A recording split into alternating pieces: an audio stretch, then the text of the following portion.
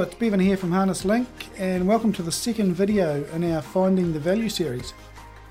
We're at Invercargill today and we've found a couple of runners we think of value in what's uh, quite an even set of fields with most of the races being run over the shorter distance of 1700 metres. So let's jump right into it and go to race 7 where I think Cassius Bromac will be improved from his first up 8th. He's good over the short distance this horse. Um, the is a bit tricky, but he's got a bit of class about him.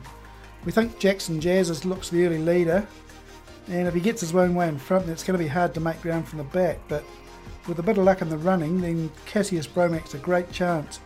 He's currently uh, $10 and 3.30 on the fixed odds. On to race 8, and a horse that uh, can win again is Madrick.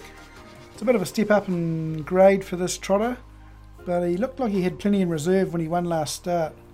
His manners seem pretty good too, and the 650 and 225 on the fixed odds we think's quite attractive. Right, we go to race 9, and a horse that should get a good run is Deuce X.